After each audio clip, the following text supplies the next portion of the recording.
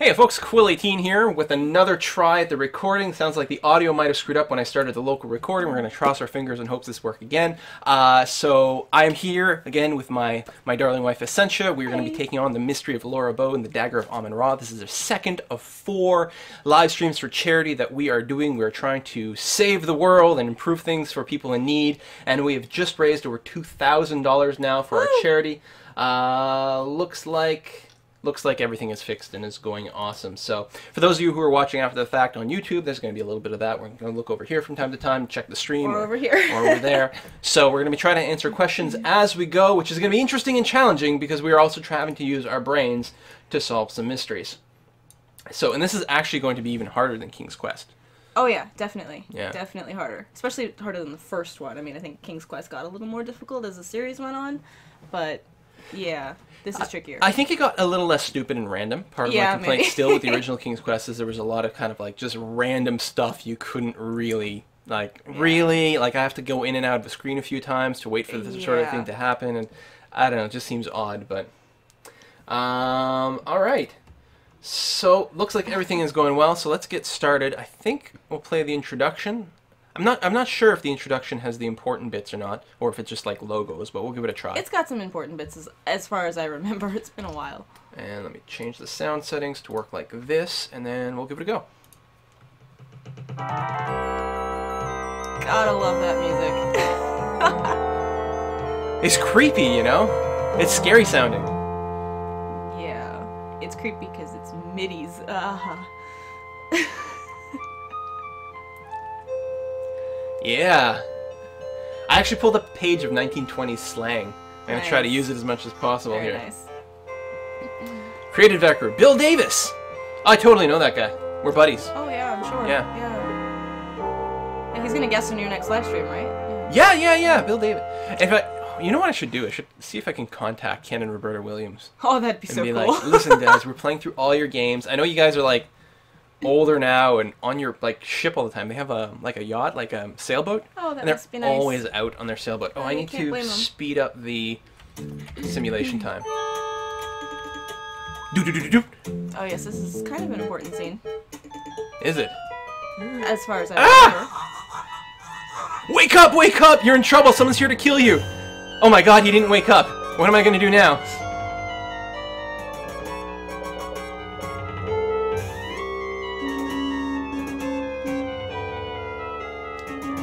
It's Bruce Balfour did it. Obviously, that's what they're telling us. Or see the dead guy in the trunk? oh, we'll find out. Yeah, game over. We've already lost. We're dead. We're wearing good hats for this. Hey, I picked out mine very, very carefully. Got my little 1920s pseudo clo- There is cloche still going on. to correct this most grievous misunderstanding, Mr. Carter. The dagger of Amon Ra must be returned to Egypt. Voice acting! Stay out of my way, or I'll thrash you within an inch of your life. Second thought, the first guy's pretty good. You can find a way to accommodate everybody's wishes. Who oh, are you There's to tell me, me. what I can do with my own property? Your property? What authority did you have? The authority of the Egyptian Antiquities Service. So if you don't like it, I suggest you waddle on back to Egypt and complain to your own government. Own government. Would it not be better to work this out diplomatically? This isn't a case for diplomacy. Come on, Egyptian artifacts don't belong in Egypt. Everyone knows that. Of the situation. It is not just my acceptance of issue, Mr. Carter. Sorry. Frankly, comments some to of our attend to. people are quite upset.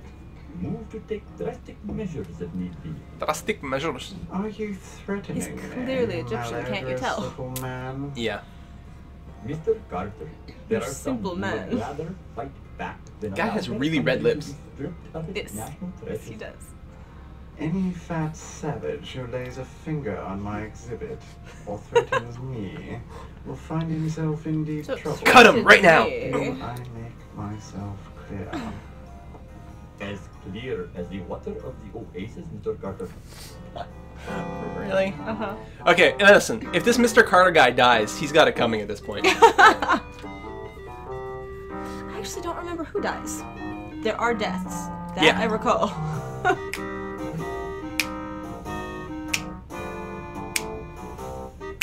so we still don't know who the dead guy is or who killed him and why. Mm. Be careful with that steamer trunk, young man.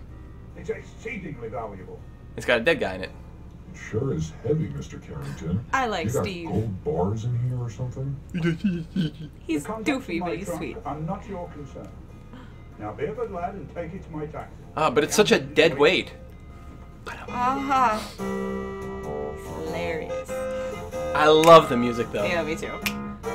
The music is one of the best parts. So if you ever want to play through the game yourself, you've got to make sure you get the CD-ROM version, which has all the voice acting and music. One week later. Very important. Are you sure you've got everything? Colonel Sanders. Daddy, Yes, Commander Toad, this game is racist. But it's table? equal opportunity racist. It's racist Yes, against Daddy. everybody. You got the money I gave you? yes, Daddy, don't worry. Put some money in your shoe. New York's a big city, and there's a lot of crime there. Look, I'm going straight to the paper. What could possibly go wrong? Let me give you a little more money, just in case. Her daddy's so sweet. got to go. Godspeed, Laura. Call me as soon as you get there. I'll be fine, Daddy. I'm going to make you proud of me. Why- Music's loud. Yeah, it is. And, Someone's saying, why is everyone cross-eyed in this? It, have you seen the quality of the graphics? It's kind of the best they could do. It's still one of those games where when you set it up, you've got the option of running it in like black and white mode or four color mode or 16 mode. We're going all the way up to 256 colors, baby. Wow. Fancy. There's that Bruce Balfour guy again. He's Colonel Sanders too. Yes, he's very popular. He does everything. People are still asking how we met. Yeah, I think they're not paying attention because I'm pretty sure about four people have answered that in the chat. Yeah, we did. Uh, yeah, we someone said described as like a, a role playing club together. Basically, a, vamp, a Vampire the Masquerade role playing game sort of group, and uh, we happened to join on the same night, and that was it. Started talking, and a few months later we were dating. Here, are you a secretary? Actually, I'm starting a new job as a reporter. That's right. I'm not a secretary. What are you, sexist? Daily Register News Tribune. All women have red hair. Of course. Laura Bow. How nice. I'm Ermgard. Well, to be fair, Ermengarde. She's Ermengarde. a lot of women in certain southern states do have red hair. Obvious? How could you tell? Whole Cajun thing. By the way you keep glancing out the window here. I did the same thing the first time I moved to New York. Yeah, I gotta turn down the music and turn up the voices or something. Yeah. You can't hear the characters. Yeah. Off the train and got mud. She's saying that like you know it's her first time on a train, and the other lady's saying like, oh yeah, I remember my first time there, and I stepped off the train and I got mugged. It's awful. Yeah. Thank you, dear. You're very kind. I Yeah. enjoyed traveling with Ah! you. Our suitcase. This scene bothers me every time. Come on, Laura Bow. No, Pay dear, attention. I'll be fine. Thank you. You're sure you'll be okay? Yes, thank you. Goodbye. If it weren't for that lady. Goodness gracious. My suitcase. My suitcase. Miss Paradigm, miss. Certainly, sir. I'm always ready to help those who are less fortunate. Fortunate. Well, that's just PG. Give me all your money then. Excuse me? Hand it over. Little too willing to help, lady. Very. Oh, I need to bring up my other speaker one To. New York, kid. Poor Laura.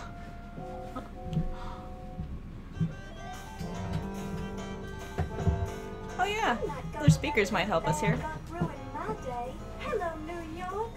Laura Bow has arrived. Laura Bow has arrived. I love her. She's so just gosh darn positive all the time. It is. So I mean, it's a long intro, but it does set the theme very well. You know, they tried to go with a very cinematic kind of story game. You know, you're you're getting a sense of um, I don't know, like uh, like an Agatha Christie kind of thing, or Kind of. Nothing can stop me now. Nothing can stop me now. Well, gosh darn.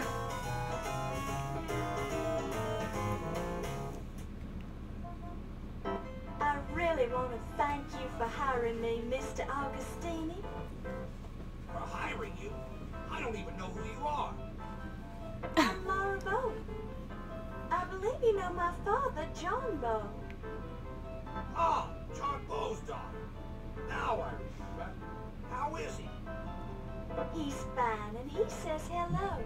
He wanted to know if you still had that newspaper clipping on your wall about the explosion of the Hindenburg building in New Orleans. Yes. Wait, she My says father New was Orleans the kills me. cop on the scene of the explosion, and he let me into the wreckage so I could cover it for the paper. I rescued Rupert Hindenburg from his burning office, wrote about it, and made a name for myself as a Backstory for a character who will never show up again. Being a reporter for a big This is the second Laura Bow game. Yeah. I'll He played a bigger role sir. apparently in the first one. Not that I've ever seen the first one at all. out there. If you're kinda Why? She's kind of small. I can You missed do it. it, Mr. Yeah. Just give me a chance. All right, Yeah. Some people are having stream problems, but other people are fine. keep a close eye on you. Thank you, sir. For your first assignment, I want you to write about a burglary. Some kind of uh, fancy knife was stolen from the Leyendecker Museum. Oh, Arrange for linebacker. you to attend the fundraiser at 7 o'clock tonight for their new Egyptian exhibit. Everyone will be there.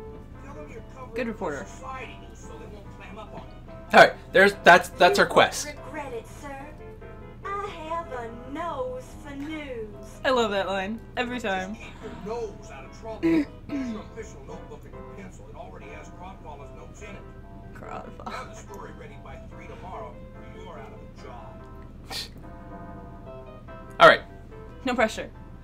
So, the main story, yeah, is that some dagger, the dagger of Amon Ra, was stolen at this museum. It just disappeared. Mm-hmm. So we're gonna go and investigate that.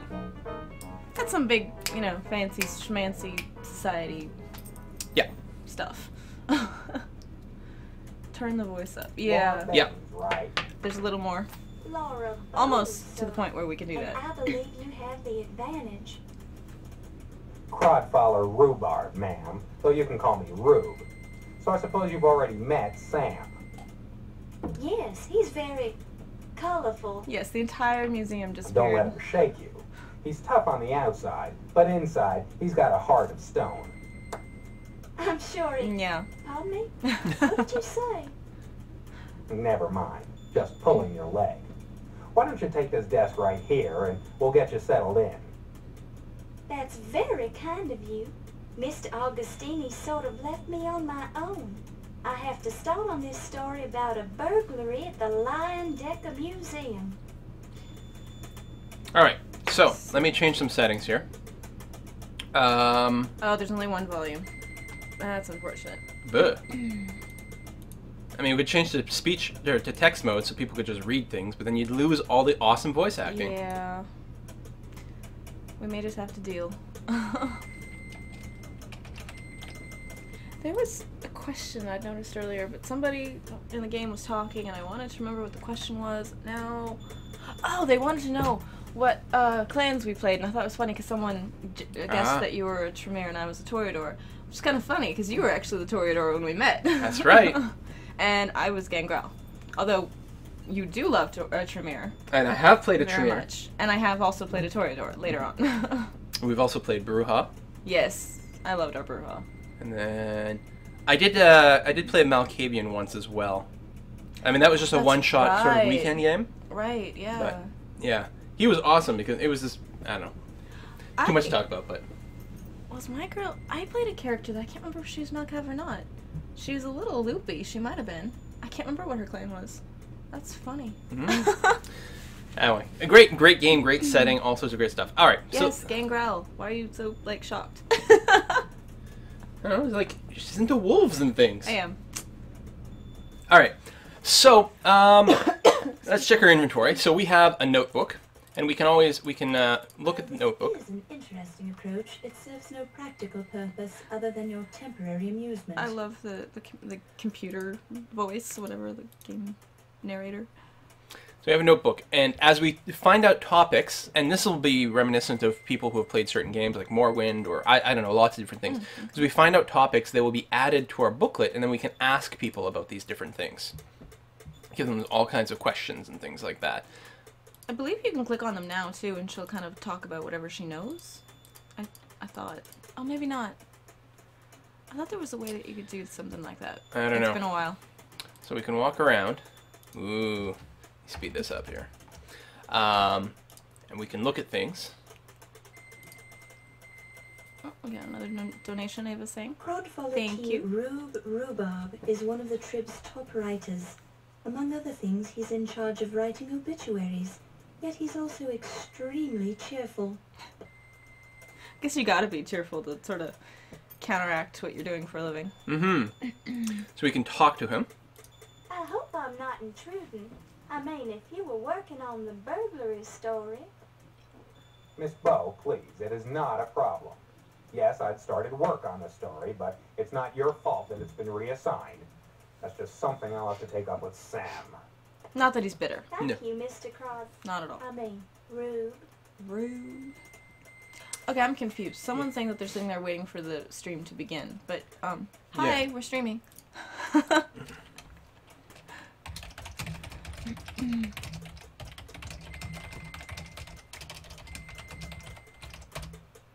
YouTube madness begins.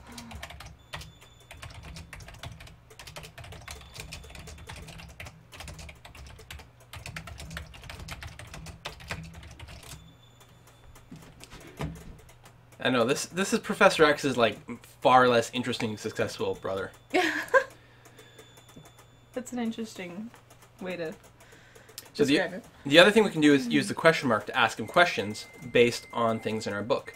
So, for example, we could ask him about the Leyendecker Museum, which is where the theft happened. Which sounds like a good place to start. Is there anything I should know about the Leyendecker Museum? Lion Decker. Yeah, I went down there. Yeah, Leyendecker's I did get actual that museum. far in the investigation, at least. I met the museum's president, a stodgy old croaker named Archibald Carrington III. Cagey guy, didn't seem overly concerned about the dagger. You might see if you can That's get a little bit more out of it. Mm-hmm. I also spoke with a Pippin Carter. Nasty little squirt. He acts like the world owes him a living. Apparently, he's the one who's originally discovered the dagger in Egypt, along with some of the other junk in the exhibit. Junk. Now, That's nice. he was hot about the dagger. Took the whole thing like it was a personal stab at him. No pun intended. Ah, ah, ah. Okay. Any other questions we want to ask? Oh, you're gonna have such a blast with all the puns and the terrible, terrible jokes in this game, aren't you? I know we have to go to the police station early on. I don't know why though. I should know about the I don't police remember all the station? details either. I remember bits and pieces of all the different things, but not how they information. It's connect. standard procedure to check there at some point in any investigation. Okay. Sometimes they just blow smoke at you, you know, hand you the commissioner's party line. But once in a while, they'll give you something you can actually use. I think that'll probably be a good start before we go and investigate the place ourselves. Um, which one was the, is it Carrington that owns? I think Carrington uh, runs the think museum. So yeah, yeah, yes, because Dr. should I Pippin know is about Egyptologist. Carrington? Carrington hasn't been in the States long. He's from England, but Gilbert. somehow he doesn't quite come off on the level. Call me stupid. Okay, just you're think the stupid. guy should be more concerned That about seems mean. property vanishing. His first month on the job, too. Gilbert, come here. Do we want to ask him anything else? See, and this is why you don't want me playing the game. Because you would ask him everything. Uh huh. Yeah, no. Who's low fat? And low fat laundry. Well, these are this is his notes, right? So low fat. That's right. that's why I asked The him old everything. laundry guy, what's to tell? Okay. Yeah. Gilbert, come here. Nobody can see you. with Detective O'Reilly. I know he's assigned to the case. I didn't get anything out of him. Maybe you'll have better luck being a lady and all. Oi. Mm-hmm. Well, I want to ask him about the, uh... Oh. Actually, it's his notebook, I suppose.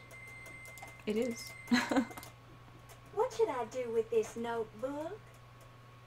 You're a reporter, for heaven's sake. Surely you know to take notes. No, I'm stupid. But why does it have all these notes already in it? Because that was my notebook. And I was taking notes in it for the burglary investigation. He investigation. seems It's offended. your notebook now. and I don't care to discuss it anymore. Ooh. Yeah, all right. Um, Gilbert, why are you leaving? Come Were here. you able to get any leads at all about the burglary at the museum? No, hadn't been working on the story very long. I went to see Detective O'Reilly down at the police station, but he was pretty tight-lipped. I was planning on talking to Ziggy down at the speakeasy. He's a stoolie, usually good for a tidbit or two. There's some info. Any other leads I can follow up on? With due respect, ma'am, it's going to be your byline on the story, mm. not mine. Point taken, Mr. Crodfelter. Rube. She can just never remember to call him Rube. what year is it? I have a feeling 1926 is going to be a great year, don't you? Yeah? You ever try writing obituaries for a living? Hardly a jolly way to spend the year. Yeah. All right. I'm gonna check out our desk. Guys, I'm trying to get Gilbert on the This screen. He's not cooperating. desk.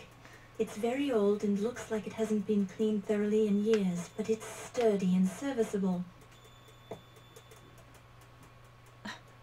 It's, the disgusting, but it's pencil holder sturdy. you've ever had as an official member of the Fourth Estate. She's just Oh my. so. It looks like an old So-so. desk blotter. this is the top drawer of your desk. The desk drawer is locked. Of course it is. I do You remember already have something to do of here. pencils. Me too. Okay. peel up a corner of the blotter to reveal a small key. You pick it up and place it in your purse. I mean, it's not like love that. particularly hard to figure out that Yeah. maybe there's a key hidden here. Yeah. You unlock the drawer. Unfortunately, the key permanently jams itself in the lock. Shucks. Of course Let's it hope does. you never want to lock this drawer again. you pick it up and place it in your purse. She says that for everything. It's so funny. Gets annoying Press occasionally. pass. Oh, press pass. It reads, press. Your pants while you wait. Low Fats Chinese Laundry, 5858 Broadway Avenue, New York. I love that. Your press pass. Yeah. Hi, Gilbert. You okay, buddy? He's all riled up about something. Yeah. I'm wondering if I should let him upstairs. Let me do that. I have to take Salem up to protect him. Protect her, I mean. What's up, buddy? No, you don't, you don't want to go upstairs at all. Let's just get you on screen then. He's just riled up. Come here. He doesn't seem to want to be on screen because he doesn't seem to want to be held, but I think he's trying to get cool to chase him. He likes to play chase. hey, Boog. Look, your fans Yeah, are online. I'm gonna put him in the bathroom. Oh, okay. Yeah, we're putting Gilbert upstairs for a while. He's kind of crazy at the moment. We'll try to bring him back later. Hail Gilbert, yes. Oh, I hate being left on screen by myself.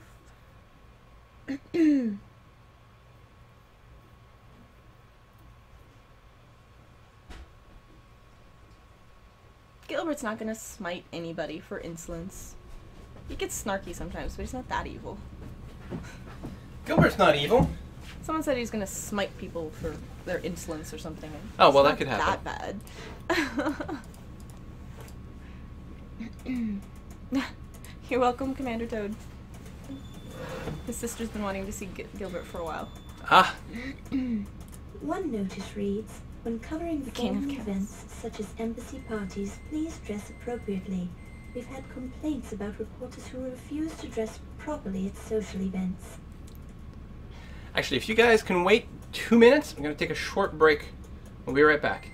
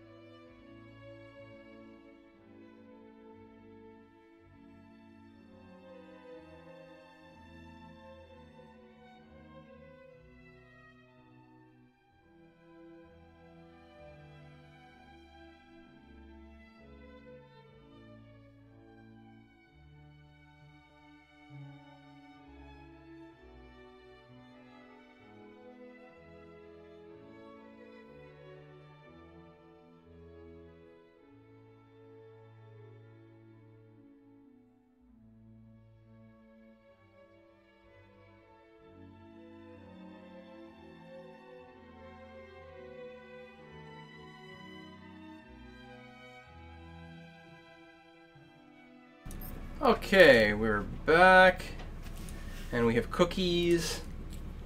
And I don't know what I did with my hat. Oh, it's way over there. That's okay. I can go hatless for a little while. Um, Product placement. Terrible. Yeah. So terrible. this this show has been sponsored by cookies. By cookies, Mm, yes. Cookies. Just generic cookies. Is there anything we can do on this sheet? I don't remember. I think we're more or less done in this room. You don't know where it's been. Don't touch it. It's gross. Can we go in the Quill. men's Don't room? Touch it.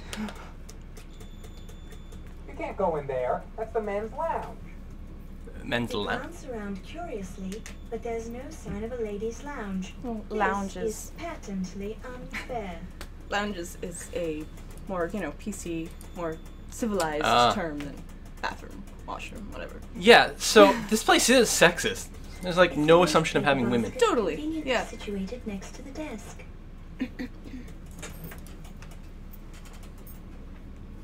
you find a curiously heavy object in the trash. You pick it up. What do we need a baseball it in your for? And how did she not recognize it as a baseball? That's the part that kills me. This is now your Curiously desk. heavy object. It's Yeah. very old and looks It's a ball. Okay, so we can't actually get to um, the other drawers down here. I'm so excited to be a member of the Trib staff. There- After all, I studied journalism in college. I went to Tulane and never thought that my first job out of school would be at a paper as prestigious as this one. I mean, that is unusual, isn't it? I'm sorry, were you talking to me? Never Oh, mind. voice. All right, let, let's get out of here. Shalesk, they're semi-sweet chocolate chips. I checked. Ooh. Quill is hatless.